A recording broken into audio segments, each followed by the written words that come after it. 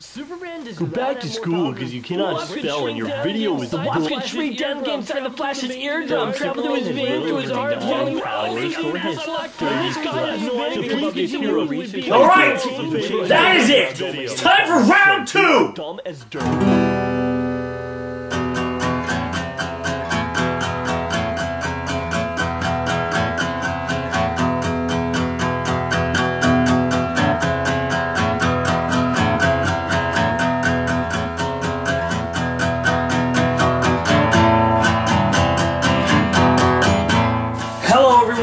Everyone, I'm LazerDude99. Now, a while ago, I was bored. I was bored and I thought, you know what? I made a like a Justice League versus Avengers video before, but I didn't really explain my point. So maybe I'll just, just for the heck of it, make a simple video of me explaining why I think the Justice League would win over the Avengers. And so I did that. Little did I know that by just doing this video that I just only did because I was bored, it would become my most popular video. I mean, right now the video has 40,802 views, making it like more than my second and third highest viewed videos combined. And that being said, of course, you have a few haters. Some people think that I underestimated some few characters in this video, and you know what? I agree. Some of the characters in the Justice League. But before we get into that, let me just take a little bit of explanation over some of the common complaints that people had with the video. First complaint? Well, you just put the weakest Avengers versus the strongest Justice League characters. I didn't choose the teams! I, I, I have to stress that really hard because apparently it didn't click in last time. This was original Justice League versus original Avengers. That was it. That was the deal. The first characters that first showed up in Justice League versus the characters that first showed up in the Avengers. That was the whole point. So that's why Wolverine isn't on there. That's why Spider-Man isn't on there. That's why Vision isn't on there. That's why Scarlet Witch and Quicksilver aren't on there. Because they did get on the team, but they weren't original member. I am just tired of commenting people saying, why didn't you put Black Panther in there or Vision? And it's very simple. I didn't want to go new current Avengers versus current Justice League because those teams they change up so often and they're not always matched up. For Justice League and Avengers, they had roughly the same amount of numbers. The only one that I guess people can argue with is Hawkeye and Black Panther instead of Hawkeye. Maybe I should have put that in. I guess you can argue that, but I don't know. I just associate Hawkeye more with Avengers considering the fact that he's in the Avengers movie. Now, this video was before the Avengers movie, but you know what I mean? Hawkeye to me is a character that is more affiliated with the Avengers than Black Panther. So, if anybody ever says on that video again, Oh, you just picked the strongest Justice League members versus the weakest Avengers, then I didn't choose the teams. Get that through the head. Second thing, your spelling is awful. I'll give you that. I mean, I am a horrible speller, and like, I will say that it is not very professional to have spelling awful in your reviews. However, give me a break, guys. This video was released March 16th in 2011. This is a two-year-old video. I've improved greatly since then with my editing and checking my spelling. So is the video filled with spelling mistakes? Yes. But what does that have to do with the fight? I mean, seriously, what does that have to do with the fight? I get it. It's not very professional to have spelling mistakes.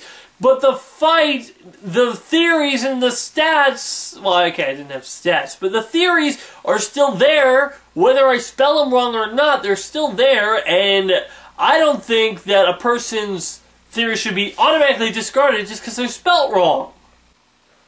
And the final thing before going into the actual fights that I want to talk about that people said, You're biased, DC fanboy.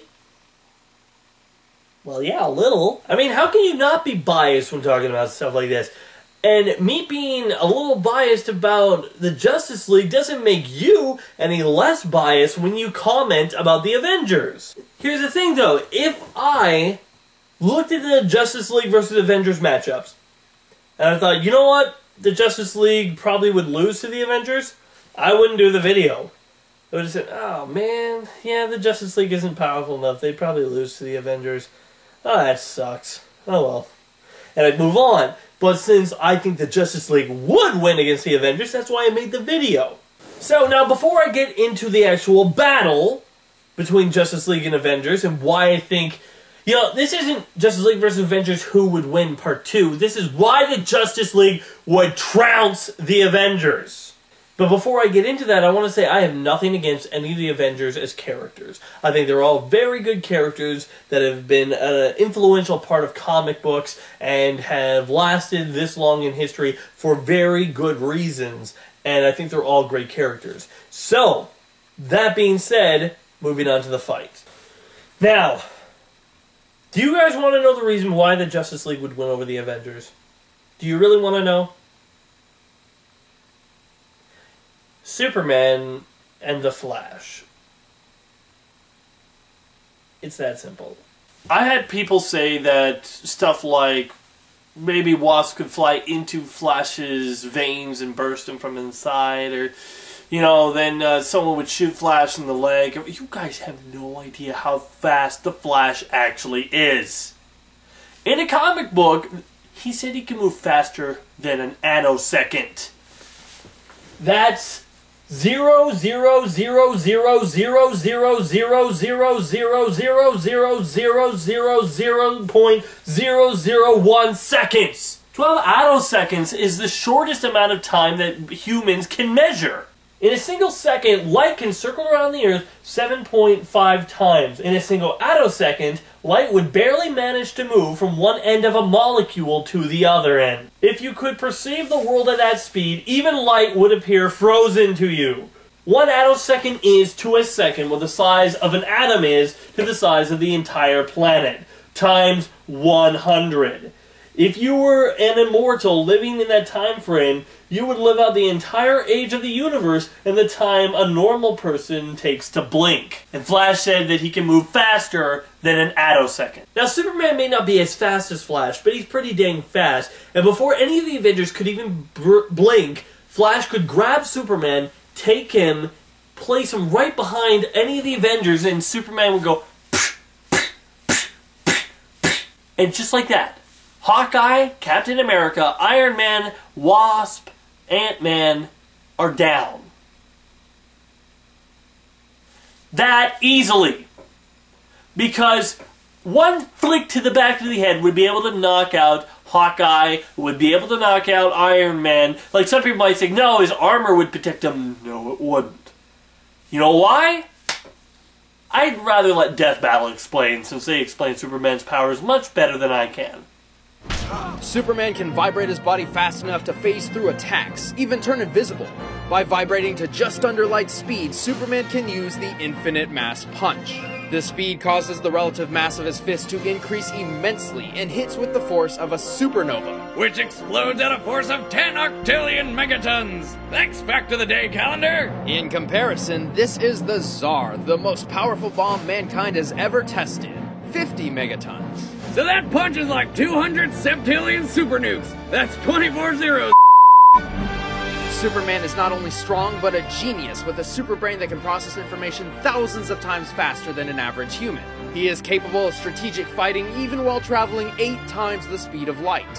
He's an expert in disabling opponents through pressure point combat, and once fought demons in Valhalla alongside Wonder Woman and Thor for 1,000 frickin' years. So yeah, Iron Man's armor is strong, but it's not strong enough to stand up to that many nukes. Or, you know, it's not that powerful.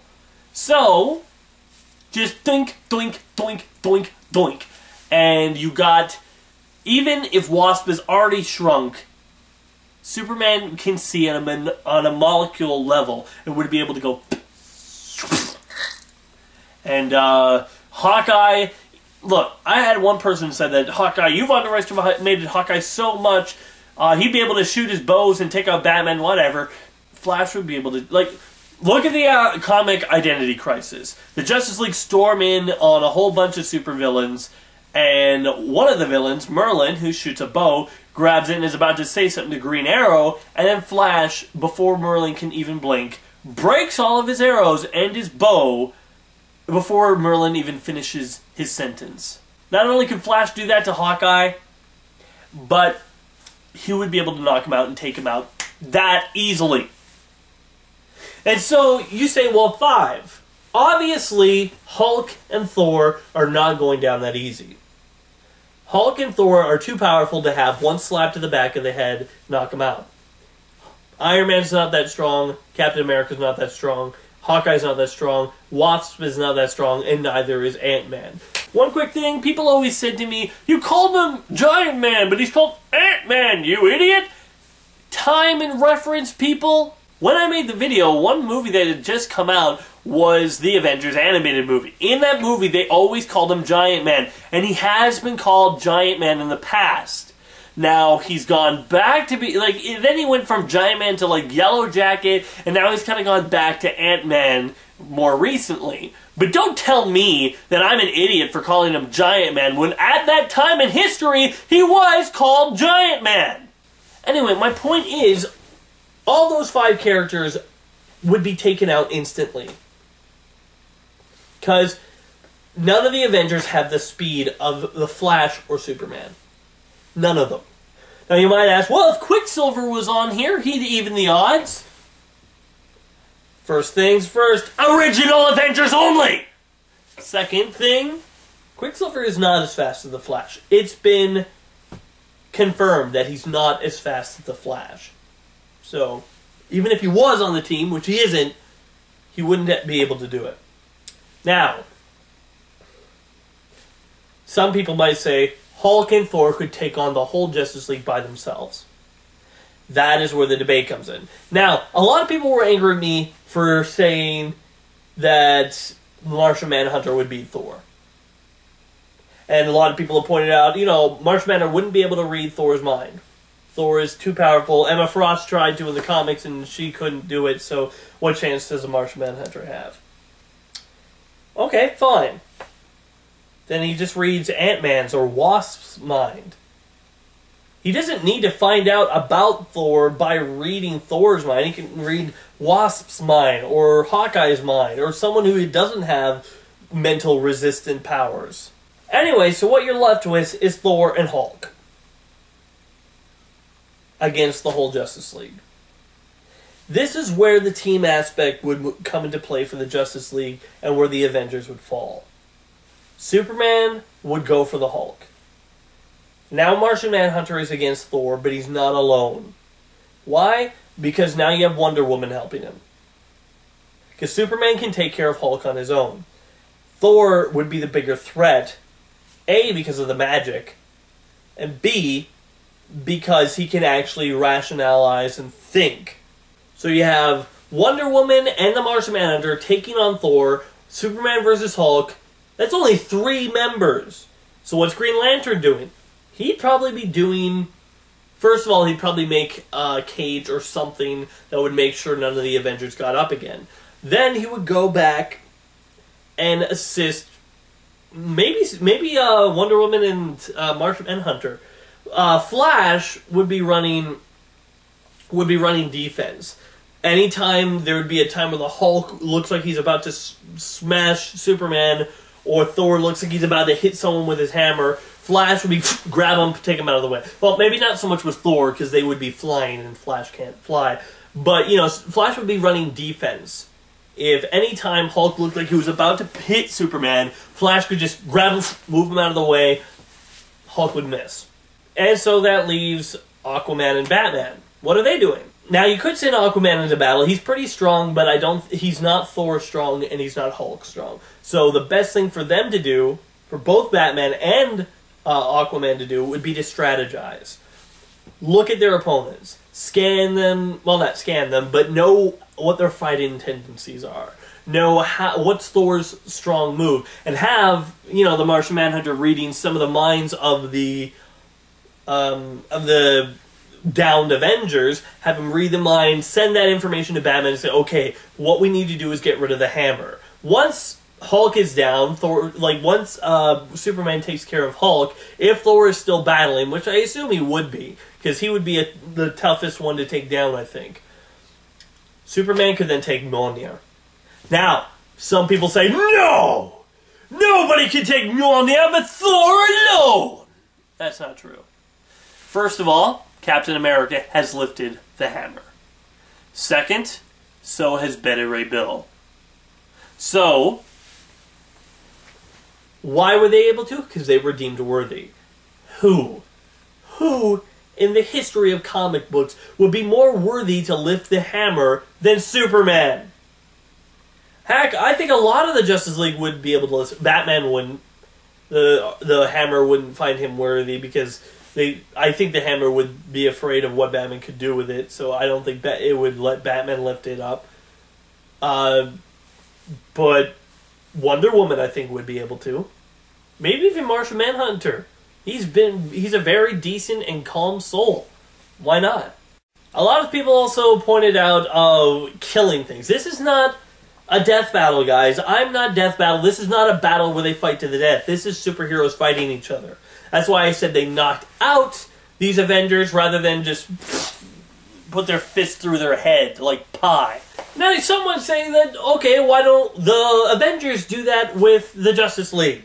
Why don't the Avengers just crush their weaker players right off the bat? They don't have the speed. Flash is way too fast for them.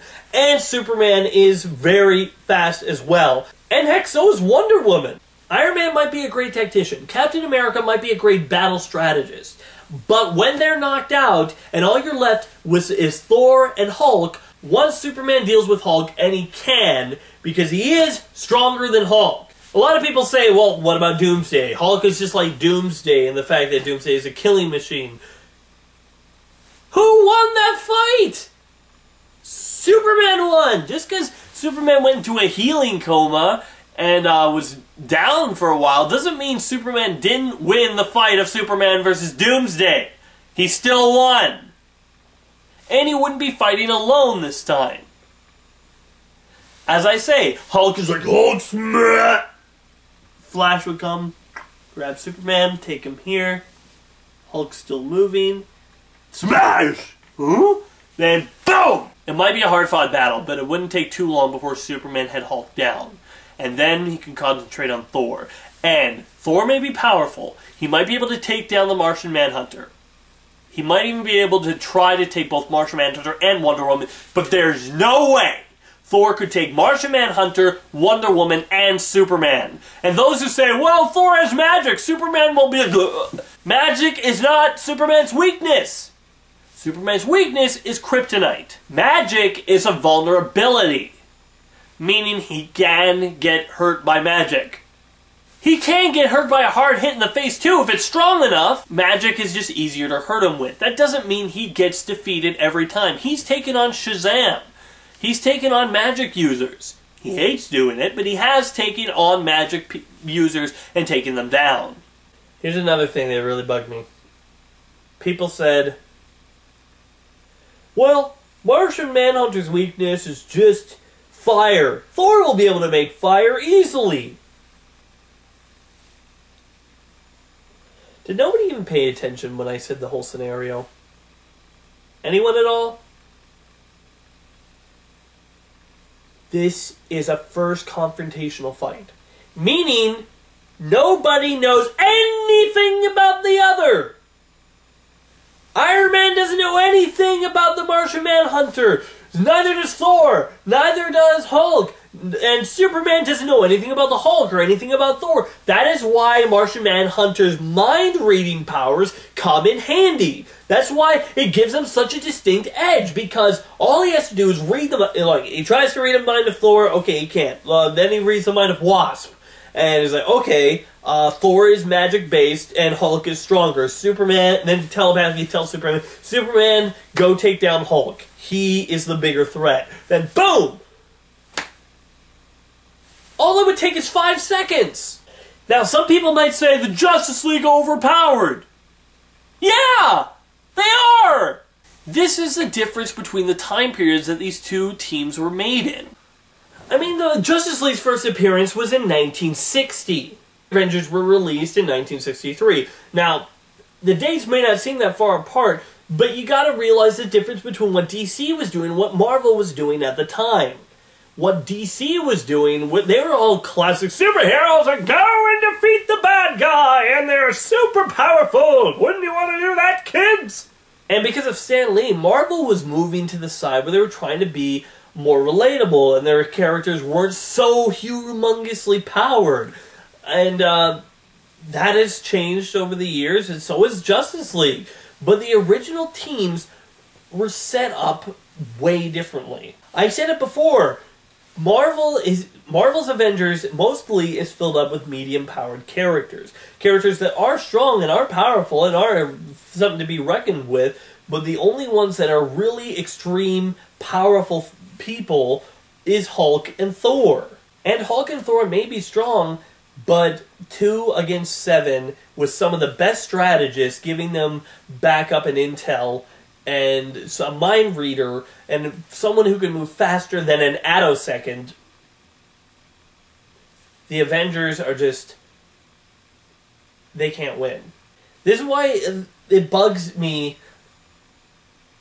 Okay, like, I have a thousand and something comments on this video. It is the most popular video I ever have, and probably ever will.